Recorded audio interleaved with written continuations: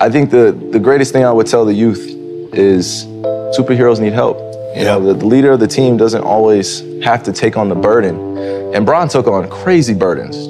We feel that's the, the biggest commonality we have as human beings is emotions. They may look different in how we express it, but they're the same. If you're angry or you're sad or you're going through stuff in your life, it is the same emotion that I would feel. Just may look different. I'll be honest with you, I was in those circles where the shadows were all around me, partying my ass off, relationships here and there, going through heartbreak, going through things that show the authentic, true you because somebody's actually putting up with your shit. Shout out to my wife.